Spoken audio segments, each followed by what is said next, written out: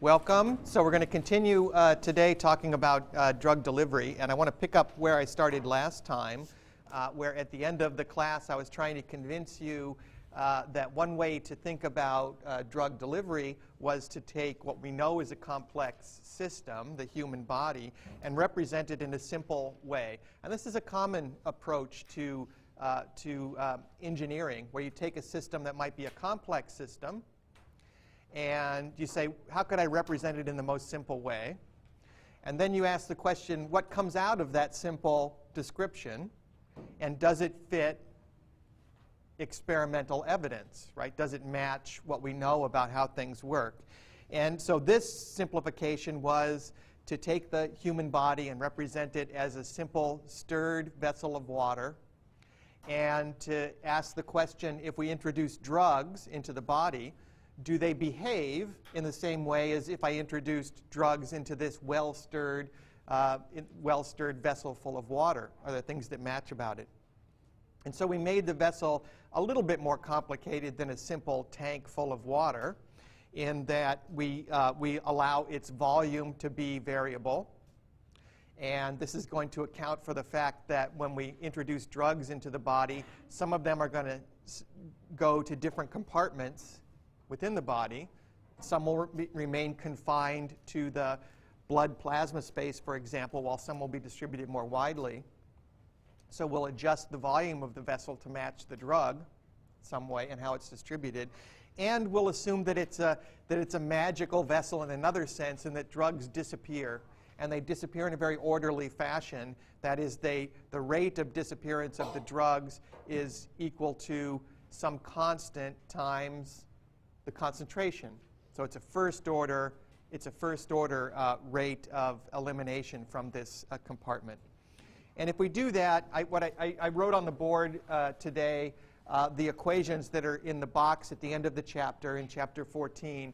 Uh, just uh, to review them very quickly, that if we have a system like this, we know that mass has to be conserved. And one way to write down the conservation of mass equation is like this the amount that comes in minus the amount that goes out, plus any molecules that are generated inside, minus any molecules that are consumed inside the system, has to be equal to accumulation.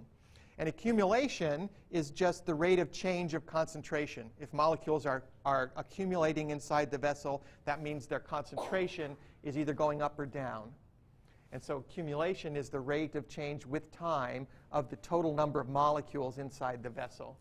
And if we went through this analysis for the system that I drew up here, and the particular circumstance that I'm going to inject drugs in to the body or into this vessel at time t equals 0, after time t equals 0, no molecules are going to be introduced, right? So this is when I'm, I'm just giving all the drug at once at the beginning.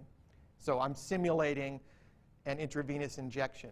So there's nothing coming in and there's nothing going out over the, in terms of drugs introduced over the time that I'm interested in. Your, no molecules of drug are being generated inside the body, but they are being consumed. They are disappearing in some way, and they're disappearing by this first order process, where the rate of disappearance is equal to a constant times the number of molecules that are still available. And I could solve this equation, this differential equation. I, told you, if you don't know about solving differential equations, don't worry. Another way to think about it is, here's the solution.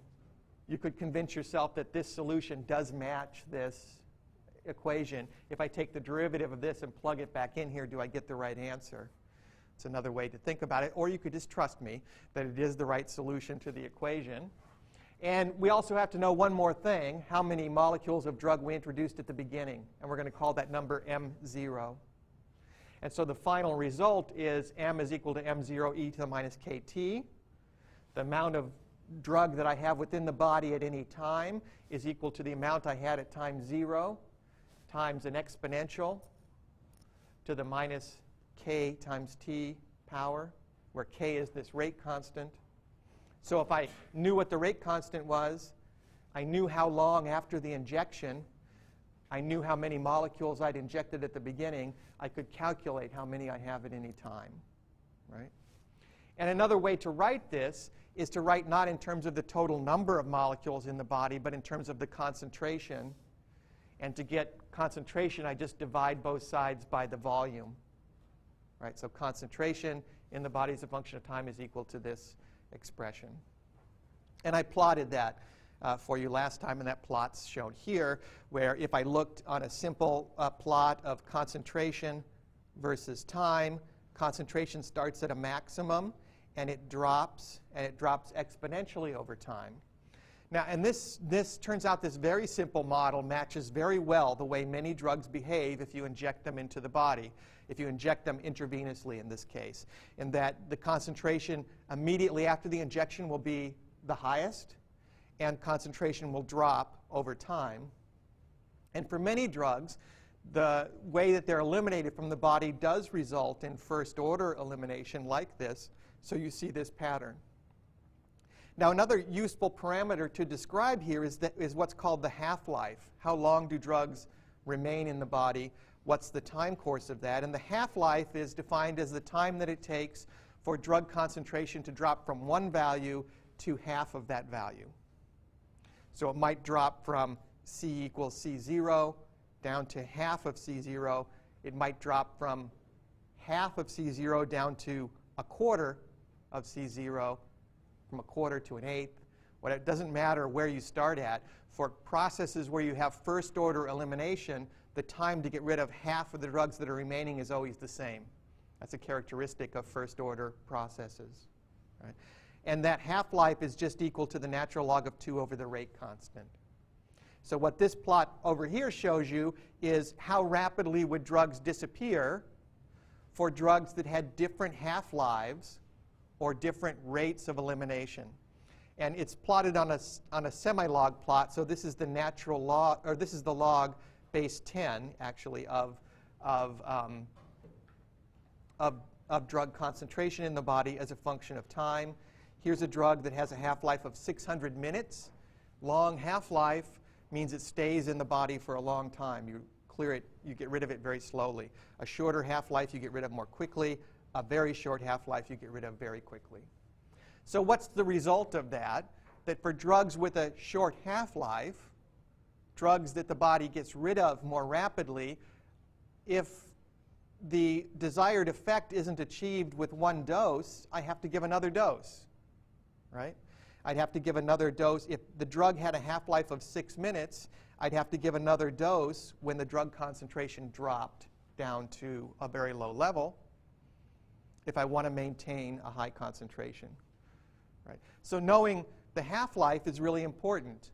And when you, uh, we'll see in, in a minute here, um, how this same factor is important for drugs, not just that are intravenously injected, but for drugs that are taken uh, by pills as well. But this is something that if you're, if you're making a drug or you're making it to sell, you need to know about because you need to tell people how frequently they can take the drug right? And that depends on how quickly your body uh, gets rid of it. That'll be more clear in just a moment, I hope. So that's the simplest possible model, and it matches very well the behavior of many drugs when they're injected intravenously. But how could I extend this to talk about, to think about other situations as well? Well, what's different if I don't directly inject the molecules into the body, but I take them by a pill? That means if this is if this is most of your body, now it, when I take a pill, I'm not introducing the drugs all at once, but I'm putting them into my intestinal system and they're being slowly absorbed into the body, right? So one way to describe that is to add another compartment to the model. To add another compartment to this simple model and say, here is a dose, but it's a dose in form of a pill. And the patient's going to swallow it. Nate, would you mind closing that door for me? and the patient's going to swallow it, and then that drug will be available in a particular subcompartment of the body. Now it's going to be in the intestine. And it will be absorbed. Thanks very much. It will be absorbed from the intestine into the bulk of the body, into the circulatory system where it can distribute. Now, I'm not going to write down the equations for this, but, but you could do that, and you could solve uh, this equation. And what you would find is, is this curve here, which matches your intuition, probably. That what happens if I swallow a pill and that pill dissolves in my intestinal tract and then molecules get absorbed slowly into the body is that right after I take the pill, the concentration hasn't changed inside my blood yet, inside the bulk of my body, because the molecules are still outside your body, they're still in your intestinal tract. But they slowly get absorbed. And as they get absorbed, concentration rises. You can see concentration rising here. And now, what happens to those molecules that are circulating in your body? Well, the same thing happens to them as what would happen to them if they were injected, is that your body's trying to get rid of them, right? But at this point here, the rate at which they're being absorbed is much faster than the rate that your body is getting rid of them. And so the concentration is rising. It eventually reaches a peak. Most of the drug has now been absorbed and concentrations start to fall.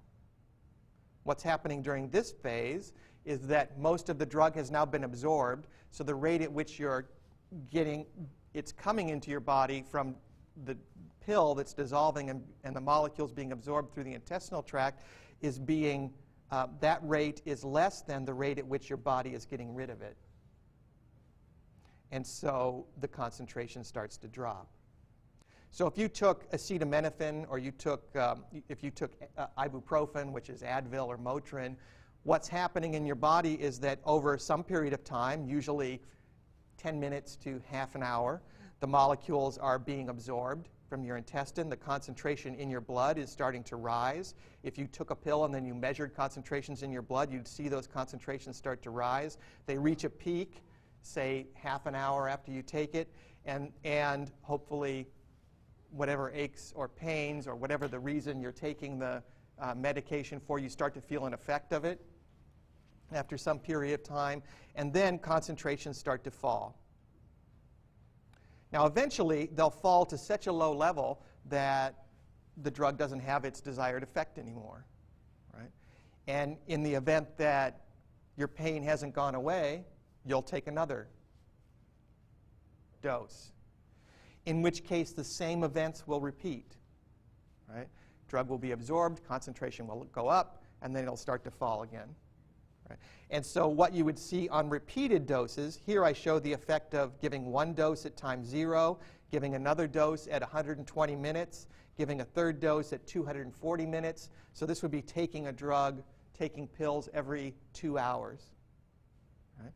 And each one of the pills you take yields the same behavior. And the total concentration in your blood is just the sum of each of those, the effect of each of those doses. Right? So each of those doses would have produced what are the dotted lines here.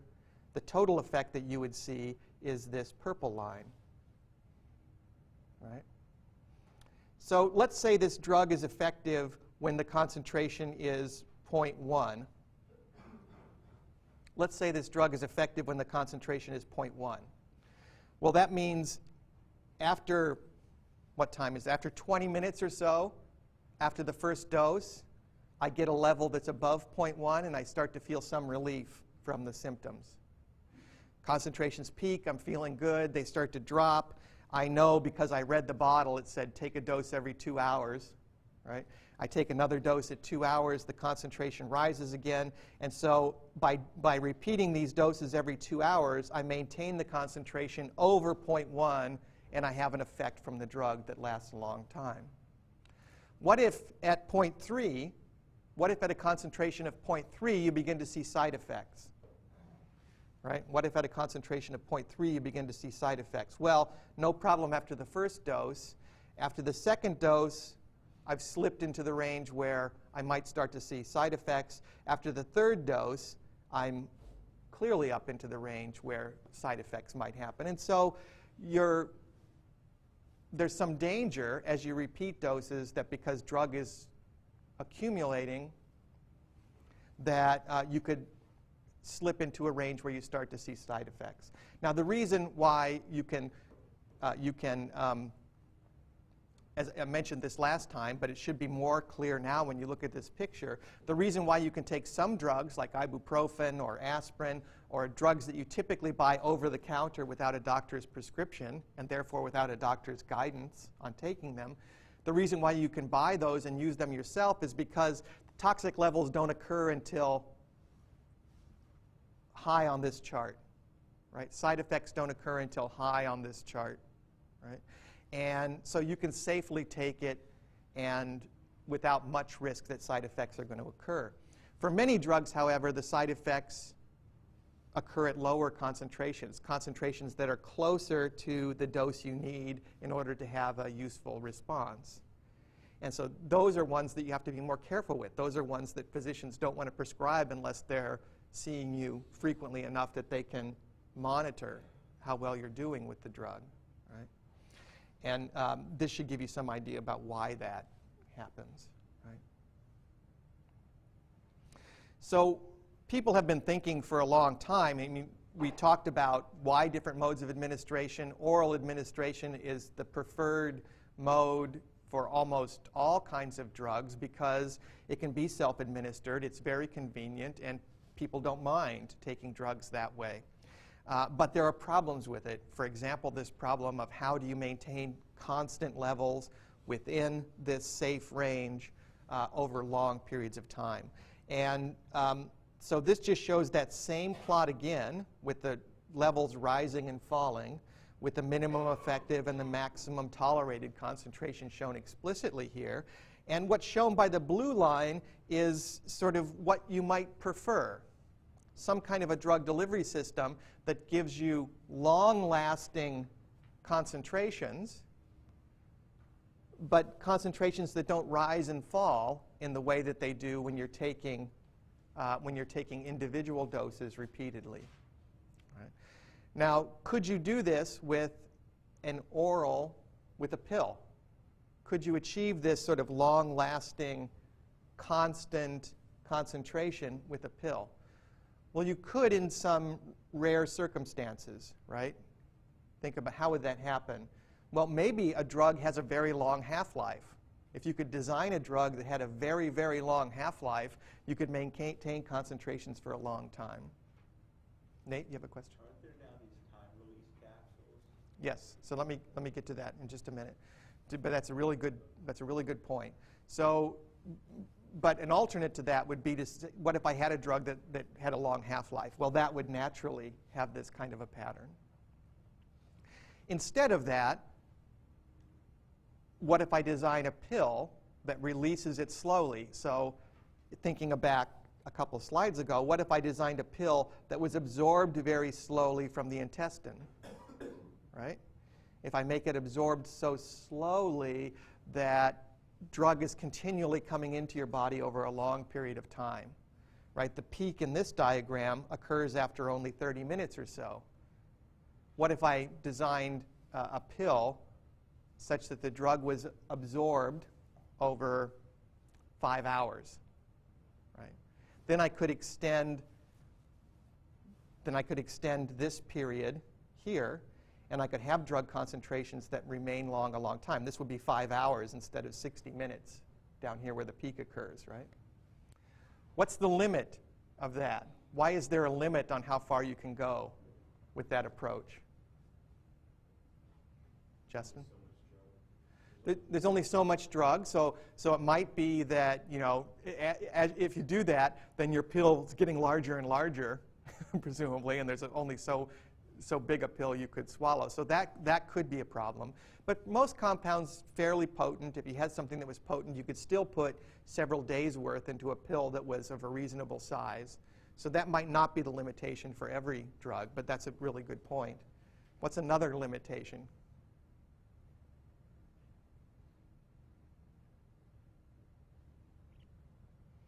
It's another limitation. Yeah, Elia.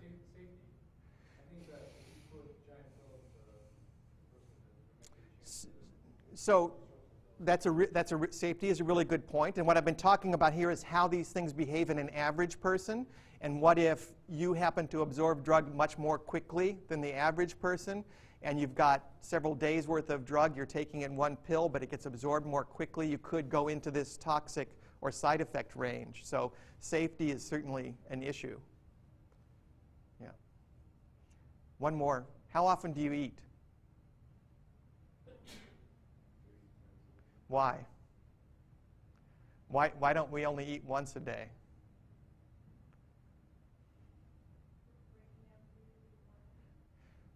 Sorry? Because that's the rate at which you absorb food, right? And that's, that's the rate at which your intestinal system works. Things pass through at a certain rate, right? You can't really slow that down, right? You can't really, you can eat more and feel full for a period of time, feel satisfied, but, they, but you, can't, you, you won't continue to be absorbing uh, more drugs because, because whatever you take into your intestine passes through in a matter of hours, right? There's a transit rate through your intestinal system that is not very changeable. And so a pill that you take can, is only going to be there as long as it's still in your intestinal tract. And there's a limit to how long it will last, right? It's not going to last forever. We know this from our experience with food and eliminating the waste products of food, right? That there's a time course there that can't be altered very much. And so there's a limit to how much you can do in terms of sus- sustaining or prolonging release with an oral uh, system. So people have designed other methods. And as, as I mentioned, this is, this is my research lab, this is my specialty, so I'm going to talk about some, um, some things that we've designed to try to get around these, uh, these barriers in, um, it, for certain kinds of drugs in certain situations. one way that you could get around it is by designing not something that's taken orally, but by designing a delivery system that's implanted. Right? Now, when you start thinking about this is not a pill, but an implant, you're automatically limiting it to certain kinds of conditions, right? You wouldn't want to get an implant for a headache, right, or something that you know is going to go away. You're talking about serious medical problems that are ongoing. So this might be for something like treating diabetes, where you need to take drugs every day, multiple times a day. It might be for treating something like cancer, where a course of chemotherapy could last for several weeks or several months. Right? It might be for treating long-term disorders like, uh, like hemophilia, where you're deficient in factor VIII, a protein in the blood, and you need to have uh, injections of factor VIII continuously, right? So it's only for certain kinds of things, but but, but, um, but you could imagine that there are those kinds of uh, medical problems that you could treat. Well, here's one way to achieve long, uh, long release of drug into the body from an implant, to make implants out of biocompatible materials like polymers. So what's shown on the bottom of this slide here is an implant that's made of a gray substance, which is a polymer, a biocompatible polymer. Imagine it's something like, um, like uh, the contact lenses that you would put in contact with your eye. These are materials that are synthetic materials, but uh, they're, uh, they're they're, your body doesn't respond to them as foreign objects very strongly. Right? You, can put, you can put some polymers in contact with one of the most sensitive areas of your body, your eye, and it can remain there for a long period of time without very much response of your body to the material. Well, what if you took that material embedded within it drug molecules? And that's what's shown here. And in fact, it's not just molecules of drug, it's solid particles of drug, which are shown as the orange uh, dots here. So that this whole thing is maybe the size of a coin, maybe the size of a dime, right? And what I'm showing you here is a cross section of that dime, dime laying flat. I cut it like this. You're looking at it from the side. So it's a millimeter or so in depth, several millimeters in diameter, and it's a solid polymer but inside of it are particles of the drug that you want to deliver. And what these graphs show are experiments that we did. This was back in the late 1980s, where we put drug molecules into these polymers and then just drop them into a test tube and ask the question could we, could we release drugs slowly from these implants so we could make a long lasting pill, essentially, make a long lasting implant that slowly released drugs. And this shows for a, a drug that is used to treat uh, Parkinson's disease, another sort of chronic indication where patients have to take drugs every day for the rest of their life. Uh, and this shows that when you drop these implants into a test tube full of water, the dopamine is released, and it's released for a fairly long period of time. This is days here. So this point here is 30 days, about a month.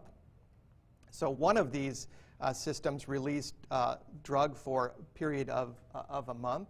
One released for almost uh, three months here, a sort of continuous and reliable source of drug. So you can make implants that release drug molecules over long periods of time.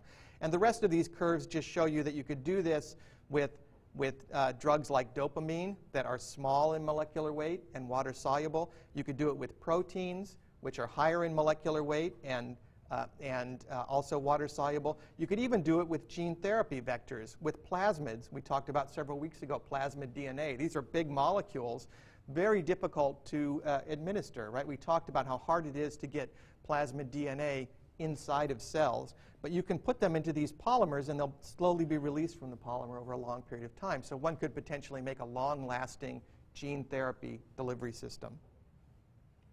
One of the advantages of making these materials out of polymers is that we now know how to you can make all kinds of things out of polymers. That's one of the nice features of plastics or polymers is that you can mold them and shape them into all sorts of kinds of devices. So here, this is that same kind of material, but instead of making a, a coin out of it, we coated it onto the surface of a wire. So this is a bare wire, and it's the kind of wire that, uh, that um, you can put into the brain and you can measure recordings of what's happening in the, in the brain extracellular space. So you can measure action potentials and electrical activity in the brain by putting electrodes in. And physicians do this all the time to measure, uh, to measure activity in the brain in patients that have epilepsy, for example.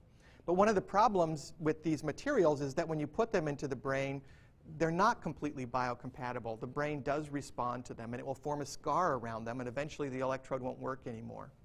So we coated these electrodes with uh, a polymer that contained drug. In this case, it's a drug, dexamethasone. It's a steroid that prevents scar formation locally. And so you make a wire that's able to record, but it's also able to deliver a drug. And so now, when this is placed in the brain, you not only can make the recordings, but the drug is slowly being released and it prevents scar formation around the outside of the electrode. And the electrode will function for a longer period of time inside the, uh, the patient. So this is an example of taking a medical device, the kind of devices we've been talking about and will continue to talk about, and making it safer and better by adding uh, drug delivery. The other advantage to this is that I didn't have to deliver steroids all over the body in order to accomplish this effect. Right? We put the steroids right on the device and they act locally when they're needed. So you don't have steroids delivered all over the body, but only at the site where you're doing the intervention. Well, this has become a very big business in, um, in, uh, around the world, and that's because several companies took this kind of technology that, uh, that had been developed and used it in a very clinically important application. What this shows you here is a stent. It's made of a metal. This is one kind of it. There are many sort of versions of this. And imagine this is a, this is a stent that's expanded uh, over this tube that's inside. But you can imagine this design here, which looks like a kind of a chicken wire fence, could be collapsed, right? Because the wires are, would bend, and you could collapse this into a smaller form. So what they do is they collapse this into a form around the end of a tube called a catheter. And so this a shrunken version of this stent, shrunken only in its diameter being reduced, is then put into your body. Now, the catheter is a long, narrow plastic tube that can be inserted into a, a distal artery, like your femoral artery in your leg, and then physicians know how to move this catheter up into your body and actually into the blood vessels of your heart. So they put this tube up into your coronary artery. Now, one of the manifestations of heart disease is that coronary arteries become uh, sclerotic. They're, they become narrowed because you get atherosclerotic plaques there. If the vessel becomes narrowed, then blood can't flow through very easily, and that can lead to pain in your chest because your heart is not getting enough blood and can lead to a heart attack or loss of blood flow to the heart and death of that tissue. So when that process starts to happen, what if you put one of these catheters in? And I didn't tell you that the catheter also has a balloon on the tip, and the balloon is underneath this stent. So once you've got it in place, you blow up the balloon, the stent becomes larger, it forces the blood vessel to become open, and then you deflate the balloon, and because this is made of metal, it doesn't deflate when the balloon deflates, but it stays there inside your blood vessel, holding the blood vessel open, so now blood flow can continue. Right? And this is a very common medical therapy that's done as an alternative to heart bypass. We'll talk about heart bypass operations uh, in a few weeks. But instead of having a new blood vessel put into your heart, which is a major operation, you can put this stent in, blow up the balloon, inflate the ve vessel, and the stent is left behind in order to keep the vessel open. Well, you could imagine that this is not a normal circumstance. Your blood vessels were not designed to have a piece of metal inserted in them to hold them open. And in fact, they respond to this. And they respond in the way that your body responds to having foreign objects put into it. It tries to form a scar around it. And often that scar formation will occur so aggressively that scar tissue starts to fill in the vessel where that you've opened. And this process is called restenosis. So what these companies did was took these stents, which were known to be very effective, and physicians are very capable and able to, to put these into the body, into the coronary vascular system now readily, and they coated the wires with a polymer. And that's what's shown in this cartoon here. The yellow is a wire, and this gray is a polymer, like the polymers I've been describing. And why coat it with a polymer? Because now you can put drugs inside the polymer, and the drugs will be slowly released from this polymer coating. So this becomes not just a stent, but what they call in the industry a drug-eluting stent. It releases drugs that prevent scar formation locally. So a patient that has heart disease gets one of these stents put in their vascular system. They open up the artery, and now that stent not only holds the artery open, but it contains enough drug molecules that are released slowly over time that prevents this restenosis and the vessel stays open for hopefully the rest of their life. Right?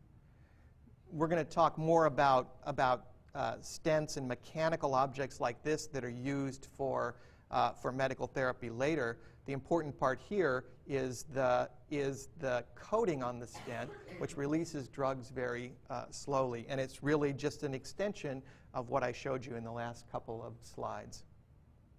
These were released into the, approved by the FDA in, in um, 2002 or so, a few years ago, and became one of the biggest selling drug products ever in uh, U.S. history, uh, which tells you something about sort of the clinical need for things like this. Again, like that other system, one of the advantages is you're not delivering drugs over the whole body, but only in the vessel where you need it, right? Only in the vessel where the scar is going to form. And so you can deliver drugs locally, you can prevent side effects that would happen in other places.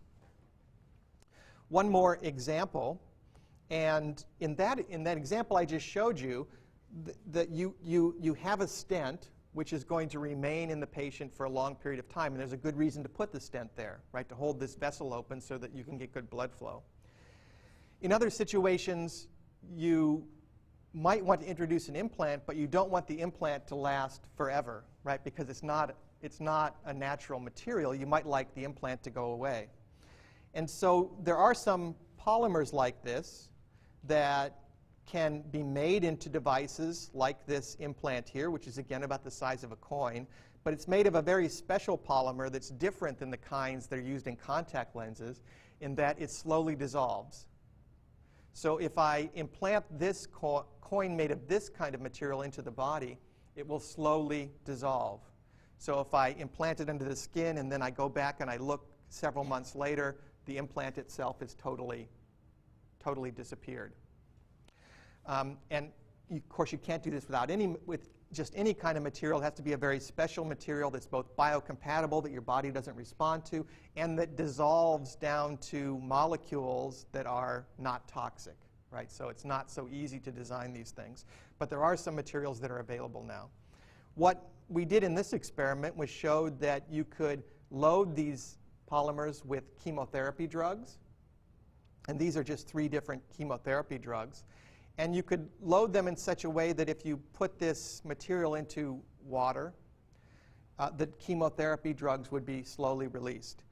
And that's what's shown here. This is with the, uh, the drug uh, BCNU. It's, it's a drug that's commonly used to treat, or at least it was in the 1990s, commonly used to treat brain cancer. And it's released over a period of seven days. 90% of the drug is released. And the last 10% comes out over a period of several uh, months. If we look longer than that, all the drug is gone now, and then the polymer itself starts to dissolve. And so by three months later, four months later, the whole device has disappeared. But it disappears in an orderly fashion. In fact, we engineered it to work just this way, such that most of the drug would be released rapidly over a period of a week. 10% of the drug would be released more slowly over a period of several months, and then the device itself would be completely gone in a period of uh, six months or so. So what would you use this for? Well, this was designed as a, um, as a device that you would give to neurosurgeons so that they could improve therapy of brain tumors. And you probably know that, uh, that, that tumors of the brain are among the most difficult to treat. If you get a tumor in the central nervous system, they have very poor prognosis or life expectancy. People that get aggressive brain tumors die within a very short time after it's diagnosed, unfortunately. And that, can, that situation hasn't changed much over the last hundred years.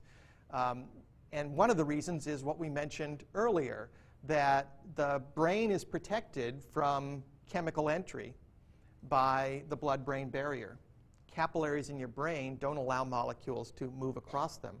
And there's good reasons for that, so that your brain chemistry can remain constant throughout the day.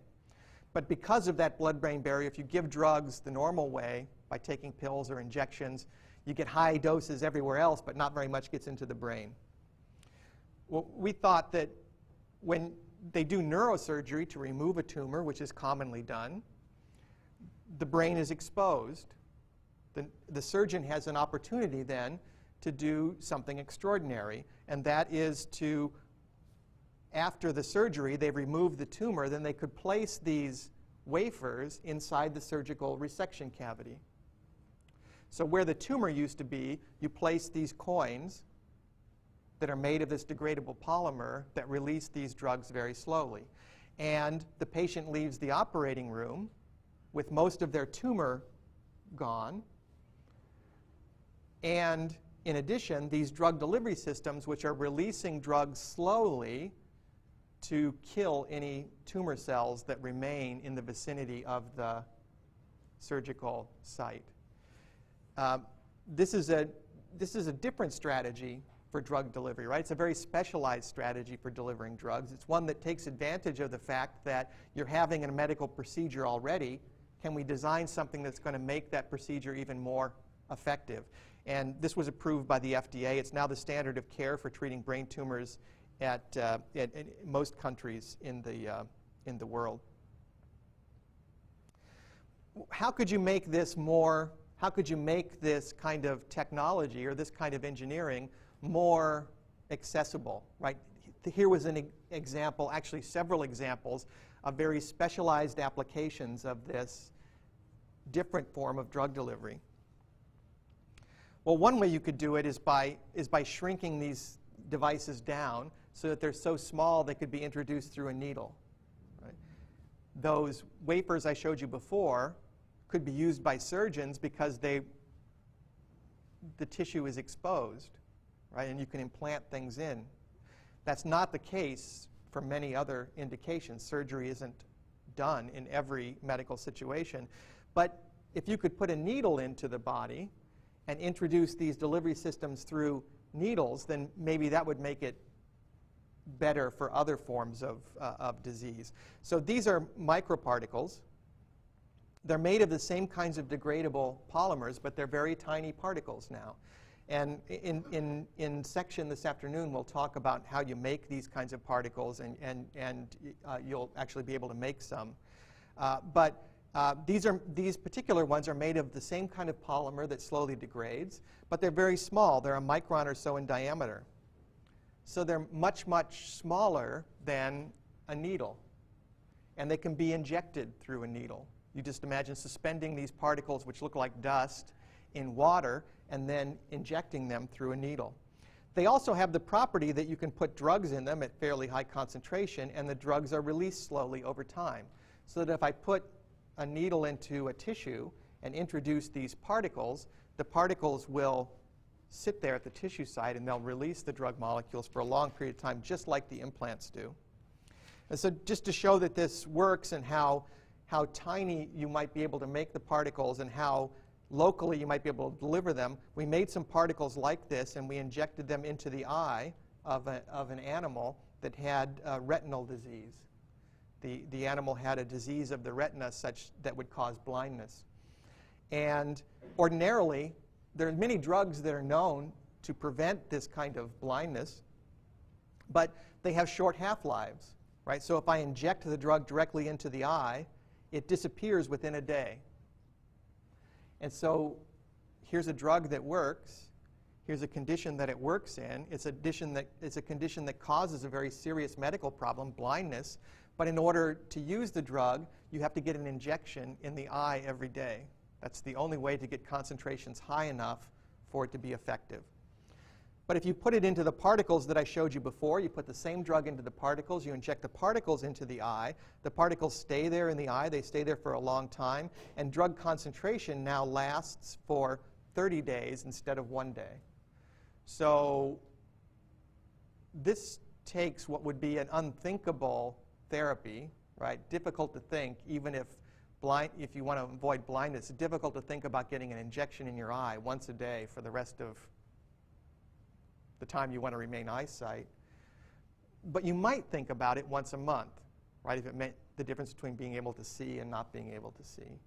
If we could make the particles better such that they worked for three months, that makes it even more possible. If they work for a year, then once a year, and you can see, that's a therapy that would be acceptable to most people. So it's, it's an example of an approach, but it, but it also shows the constraints of the approach, right? So far we can do a month. We'd like to be able to do longer, and as we do longer, this will become uh, a, a more a therapy that's more likely to be adopted into clinical practice. And you can imagine that making it longer requires better engineering of these particles. And it's hard to make particles that are really small but hold on to drugs for a long time, right? That's a hard thing, to make particles that are really small but hold on to drugs for a long time. What we've gotten good at so far is making particles that are really, really small. So these are the these are sort of the state of the art. These are par particles that are made of a degradable polymer. They're only 150 nanometers in size, so now much smaller than a micron even. These are the size of a virus. So we were talking about smallpox virus before, a naturally occurring pathogen. These are synthetic polymers made totally in the laboratory that are the same size as a virus. And they're made of a polymer that's well known to be safe, and they also contain drug. These particular particles uh, were made by a, graduate student who worked with me named Amaryllis Sanchez, and Amaryllis was able to put 20% by weight of a chemotherapy drug inside these very tiny particles, particles the size of a virus. And even though the particles are very tiny, the drug comes out relatively slowly over a period of about a week. Now, why, why make, why make uh, particles so small? Well, it turns out that these particles are so small that they can actually enter cells. Like viruses, they can infect cells. Only they don't infect in the same way that a virus does because they're totally synthetic, right? They don't reproduce. They just sit inside the cells and they release chemotherapy drugs in this case. Well, that's a makes possible a totally different strategy for treating cancer. You know, one of the problems with treating cancer is that cancer drugs have to get deep inside the cell in order to work. Most of them work by inhibiting cell division, and most of the targets for inhibiting cell division are not just within cells, they're within the nucleus inside the cell. And the approach for chemotherapy is to deliver these toxic drugs all over the body and hope that they get into tumor cells and hope that they get into tumor cells at high enough concentrations that they can reach these targets deep in the nucleus. Well, what is possible, we think, with this approach is that you can design not just um, long release of drugs. I didn't do a very good job there. Uh, but, you can, um, but you can design particles that will specifically recognize tumor cells in the same way that viruses recognize tumor cells or specific cells, that will enter only certain cells, and that they'll release their drugs only when they've entered the correct cell. And that would be potentially a much safer, more effective uh, form of chemotherapy. So I've taken in this lecture and covered a lot of material, uh, but uh, the important things, I hope, are to, which I've emphasized, I hope, are to think about ordinary forms or common forms of drug administration, like pills and injections, and understand a little bit about how those forms of administration lead to concentration changes within the body as a function of time, and how those forms are limited in some ways. Now, even with those, with those limitations, obviously medical therapy has advanced tremendously because of the availability of drugs, right? Antibiotics have changed our lifespan, right? People don't die of infectious diseases because of vaccines and because there are antibiotics that you can take, sometimes orally. We all have taken them, right? You've taken antibiotics and you got better. Uh, so drug therapy has been an incredible advance. The second part I want you to think about is how sort of engineering of materials, in the case I've described here, uh, could allow you to think about making systems for drug delivery that are even better, that can take existing drugs and expose them to the body in different ways such that they're safer and more effective at treating certain kinds of diseases. So we'll, we'll meet at uh, section this afternoon. Right? Any questions? Great. See you this afternoon.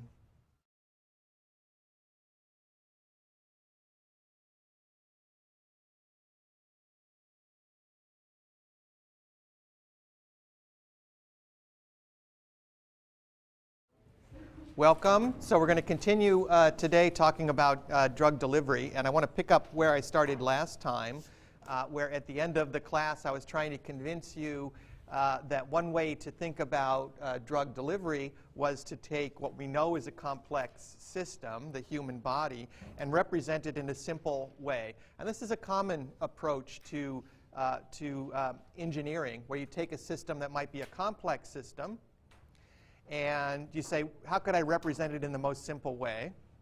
And then you ask the question, what comes out of that simple description? And does it fit experimental evidence, right? Does it match what we know about how things work? And so this simplification was to take the human body and represent it as a simple stirred vessel of water and to ask the question, if we introduce drugs into the body, do they behave in the same way as if I introduced drugs into this well-stirred, uh, well-stirred vessel full of water? Are there things that match about it? And so we made the vessel a little bit more complicated than a simple tank full of water in that we, uh, we allow its volume to be variable. And this is going to account for the fact that when we introduce drugs into the body, some of them are going to go to different compartments within the body. Some will re remain confined to the blood plasma space, for example, while some will be distributed more widely. So we'll adjust the volume of the vessel to match the drug some way and how it's distributed. And we'll assume that it's a, that it's a magical vessel in another sense and that drugs disappear and they disappear in a very orderly fashion. That is, they, the rate of disappearance of the drugs is equal to some constant times the concentration. So it's a first order, it's a first order uh, rate of elimination from this uh, compartment. And if we do that, I, what I, I, wrote on the board uh, today uh, the equations that are in the box at the end of the chapter, in chapter 14. Uh, just uh, to review them very quickly, that if we have a system like this, we know that mass has to be conserved. And one way to write down the conservation of mass equation is like this the amount that comes in minus. And I could solve this equation, this differential equation. I, told you, if you don't know about solving differential equations, don't worry. Another way to think about it is here's the solution. You could convince yourself that this solution does match this equation. If I take the derivative of this and plug it back in here, do I get the right answer?